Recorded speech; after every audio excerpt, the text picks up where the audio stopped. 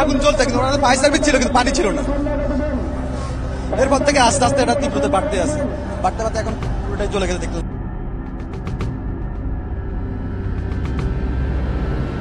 ভয়াবহ আগুনে দাও দাও করে চলছে ঢাকার বঙ্গবাজার। চারদিকে শুধু কান্নার আহাজারি। দু হাত তুলে মহান আল্লাহ পাকের কাছে দোয়া ছাড়া কিচ্ছু করার নেই। তবে বাংলাদেশে এই ধরনের ট্র্যাজেডি নতুন কিছু নয়। সবাই শেষ। একবারে ইন্টু আর আমরা সবাই কিছু না কেউ কিছু বার করতে পারে না। আমার কাল তো ভাই কুড়ি কুড়ি টাকার ব্যবসা সব শেষ। সম্পদ হারানোর যন্ত্রণাটা আমরা সকলেই বুঝতে পারি। হেলিকপ্টার দ্বারা পানি এনেও রাজধানীর বঙ্গবাজারের আগুন নিয়ন্ত্রণ সম্ভব নয়। ঢাকার বিভিন্ন জায়গায় যেমন হাতিঝিল থেকে পানি নিয়ে যেতে দেখা যায় বিমান বাহিনীর হেলিকপ্টারকে।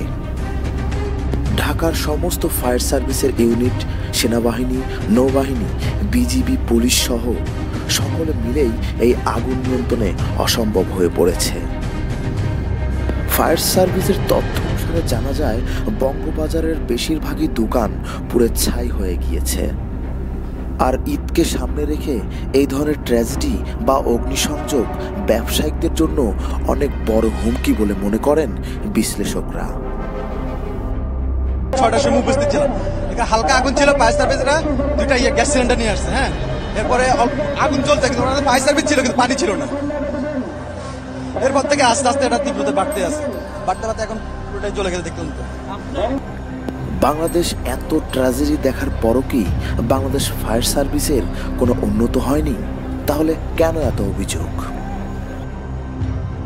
ছয়টা দশ মিনিটে বঙ্গবাজারে এই ভয়াবহ অগ্নিসংযোগের তাণ্ডব চালায়।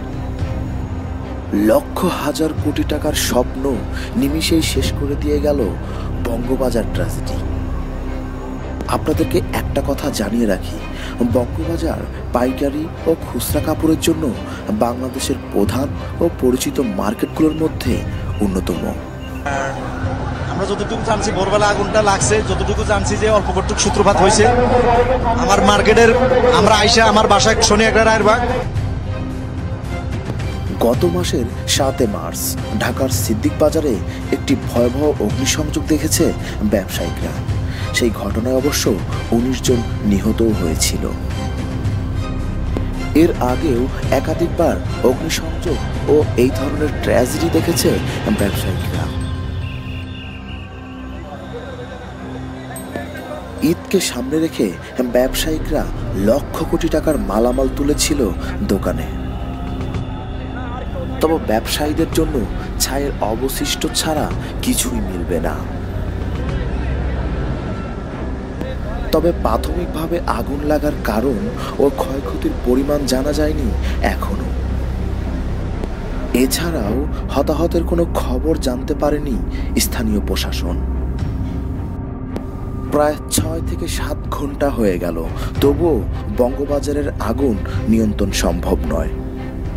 একদিকে জ্বলছে বঙ্গবাজার, অন্যদিকে জনগণের হাহাকার ও চিৎকার। বঙ্গবাজারের চারটি মার্কেটেই আগুন জ্বলছে। বঙ্গবাজার মার্কেট, ইসলামিয়া মার্কেট, বঙ্গ দশ কোটি মার্কেট।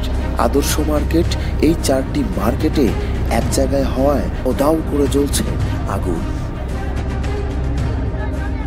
অতিরিক্ত ধোঁয়ায় আশেপাশের এলাকা অন্ধকার হয়ে গেছে। দূর থেকে কিছু দেখা যাচ্ছে না। ফায়ার সার্ভিস কর্মীরাও দূর থেকে পানি দিচ্ছেন এদিকে ফায়ার সার্ভিস ইউনিট জানিয়েছেন পানির সংকটে আমরা আগুন নেভাতে সক্ষম হচ্ছি না। তারা মোট এগারোটি দমকলের সাহায্যে পুকুর থেকে পানি নিচ্ছে। ফায়ার সার্ভিসের নির্দেশে আশেপাশের বৈদ্যুতিক লাইনগুলো বন্ধ রাখা হয়েছে। তবে দোকানিদের বা ব্যবসায়ীদের অভিযোগ কোনোভাবেই দামানো যাচ্ছে না।